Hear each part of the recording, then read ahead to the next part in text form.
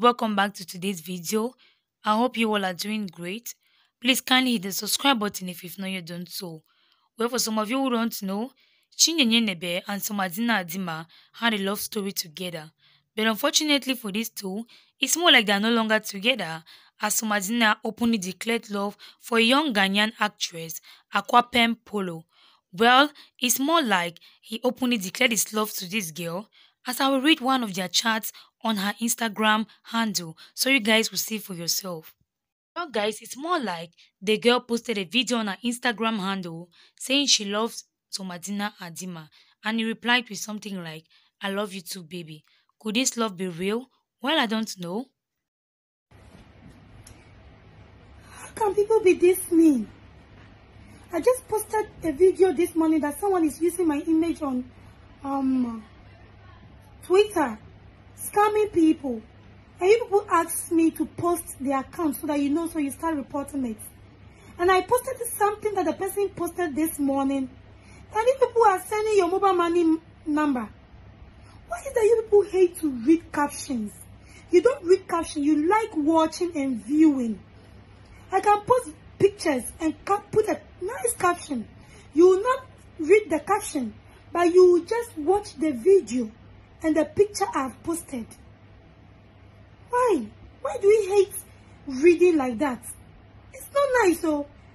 So meaning the person is scamming people truly, truly on Twitter because look at it. I posted something, no, you didn't read the caption. Whatever you saw is what you are doing. Sending me your mobile money number. And someone can pick your number and hurt you. On social media, how can you disclose your personal number like that? You people should be watchful. People will hurt you. They will hurt you. Don't be so aggressive, anxious, and hungry. Why? I do my giveaways. I do my donations to people, students, and and the prisons, roadside people, a lot. Go on my, my foundation page, Polo's Foundation.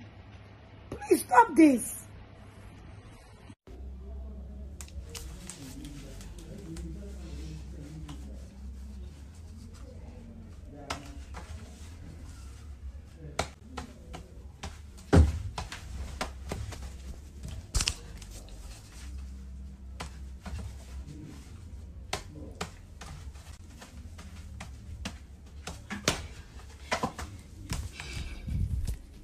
Hey, sweet sweet Poloo, Cardi B twinny.